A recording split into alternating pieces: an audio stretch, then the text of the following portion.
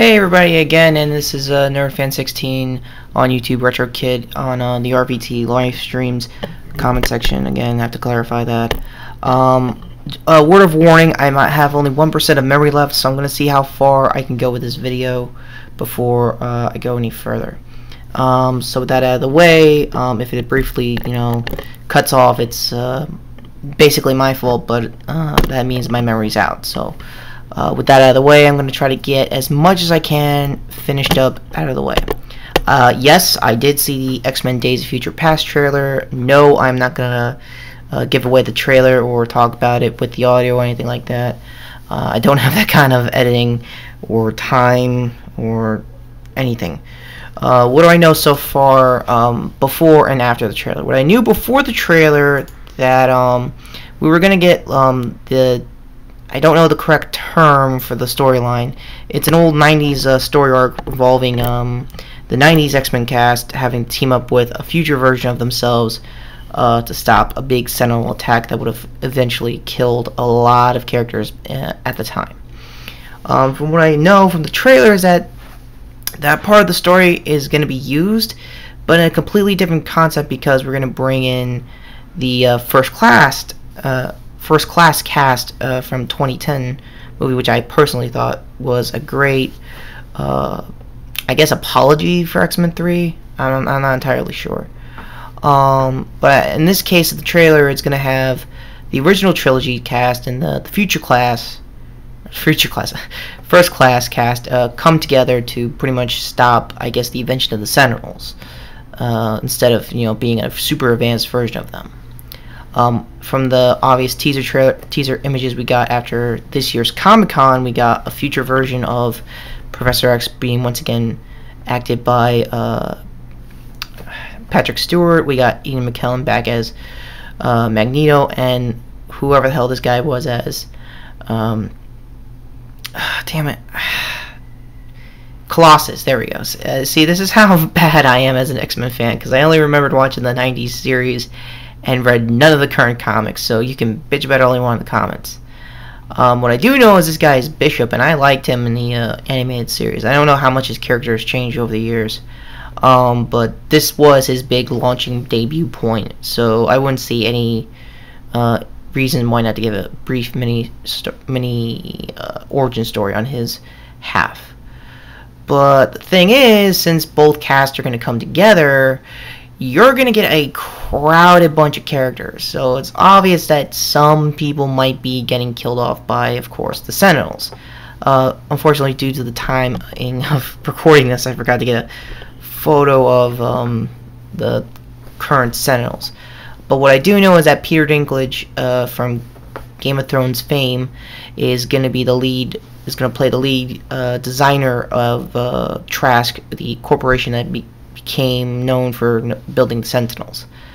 Uh, so I'm pretty excited to see how that's going to turn out. Not because of his height or anything, but to see how big in scope not only his acting can bring it, and how intimidating they can bring for the Sentinels as a whole.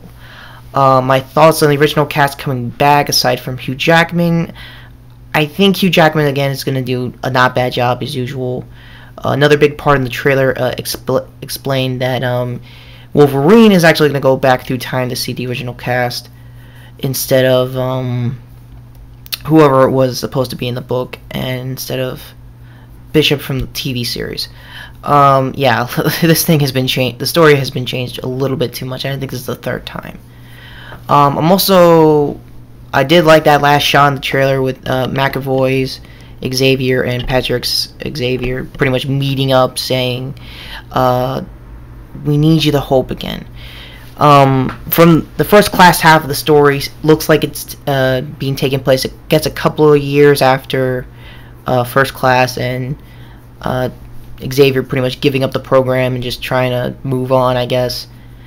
Um, I don't know. Um, also, um, the other first class actor who played Magneto is also going to come back as well. Uh, I do see not really much of a challenge. I think he's going to be the same character, and he's definitely going to be the hardest to convince, aside from Charles himself. Um, Not only that, they're also going to bring back a lot of X3 cast members. So obviously Iceman, obviously Kitty Pryde, but played by Ellen Page. And I really didn't have any problem with her performance in Beyond Two Souls. As of recording, I don't have a PS3. I have yet to play the game because I don't have a PS3, and I've been watching a lot of the walkthroughs. And no, I'm not going to talk anything about whatever controversy came after the game, before, or anything relating to her. I think she's an okay actress. I think she did a pretty decent job with X3, and that's all I'm going to say about it.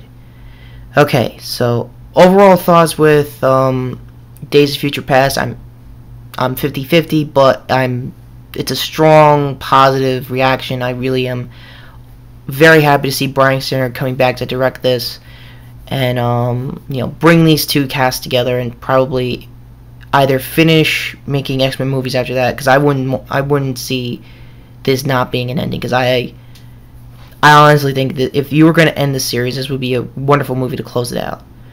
Again, it could be my opinion, it might not, I don't know. So again, um, to finish up this video, I am going to briefly talk about my expectations on Thor the Dark World. And I really think it's not going to be that bad. It's just going to probably set up a lot of um, problems for Thor himself. Um, they got the Ninth Doctor, Christopher Eccleston being the main villain of the movie. Uh, would love to see where that's going to go. Tom Hiddleston coming back as Loki, Natalie Portman, Anthony Hopkins as Odin. Yeah, they got everybody back, including Kat Dennings. I have nothing against her. I'm pretty sure Two Broke Girls is hilarious, but it was kind of dragging Thor a little bit on my mind. It was a little awkward. It was like, ooh, let's try to put minor, you know, today references onto it and make it age instantly. Yeah, uh, my bad in advance. Um,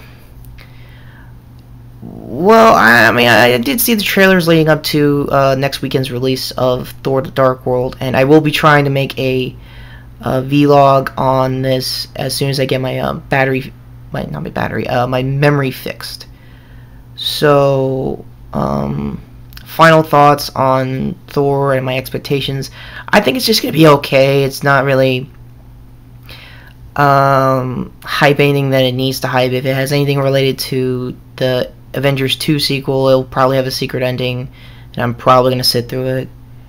Um, so that's as far as my expectations go. So, with all that said, I think Marvel's got a pretty good lineup this year uh, for both X Men and um, the the uh, Captain America trailer, which was also out around the same week as uh, X Men's came online. So I think both trailers are good. I think both movies have a big uh, chance at you know being up to what Marvel is now as pretty much the juggernaut of superhero movies.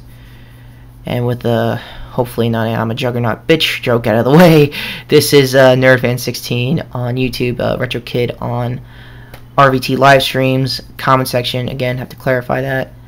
And uh, take care of yourselves. Have a good have a good night, and uh, hope you had a good Halloween. And who the hell was that guy who was in that mask? I don't know.